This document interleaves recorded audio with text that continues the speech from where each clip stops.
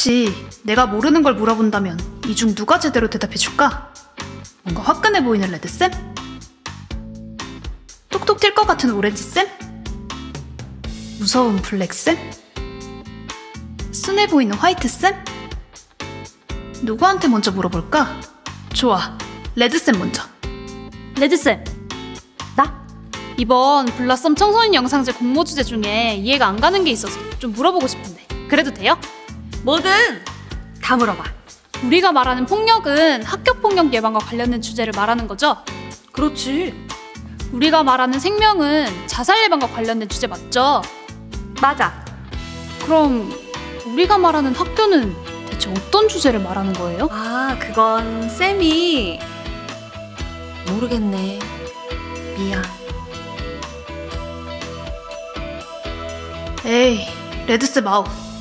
이제 누구한테? 아, 톡톡 튈것 같은 오렌지쌤이 있었지? 오렌지쌤, 오렌지쌤은 혹시 알아요? 당연하지.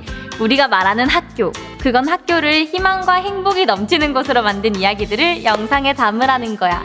그게 어떤 이야기인데요? 음, 그렇게 구체적인 건 내 전문이 아니라서. 그럼 누가 그런 거 또 내가 전문이야. 아까는 모른다고. 아, 그건 그거고 이건 이거지. 그럼 알려주세요. 잘 들어. 학교를 행복하게 만들어준 특별한 선생님이나 친구들의 이야기. 혹은 학교 동아리 때문에 학교 다니는 게 행복해진 이야기. 또 환경을 바꿔서 학교가 좋아진 이야기. 뭐 이렇게 다양하지? 아, 이제 알 것 같아요. 그럼 다음에 잠깐만 왜 나한테는 아무것도 안 물어봐? 어 이제 물어볼 게 없는데 내가 블러썸 영상제 전문가라니까 진짜요? 그렇다면 아 맞다. 주제 중에 학교 폭력 예방 부문은 무조건 가해자가 피해자 괴롭히고 때리고 이런 것만 되나요? 아니지 학교 폭력을 당하는 피해자 가족의 이야기가 될 수도 있고 학교 폭력을 바라보는 선생님의 이야기도 될 수도 있어 그리고 요즘은 직접적으로 때리고 괴롭히는 것보다 은근히 따돌리거나 사이버 폭력이 많잖아 그런 걸 다뤄도 좋아 내가 한 가지 팁을 준다면 무조건 때리고 괴롭히는 가해자와 피해자 관계를 단순하게 다루는 작품은 높은 점수를 받기가 어려워 와 대박. 이제 확실히 알겠어요. 그럼 여기서 잠깐 나 한마디도 안 했어 아 죄송해요. 이제 시간이 없어서.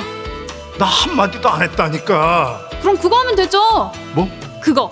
아 그거 오케이 2020 블러썸 청소년 영상제가 궁금하시다면 검색창에서 2020 블러썸 청소년 영상제를 검색해 주세요 그럼 다 같이 2020 블러썸 청소년 영상제!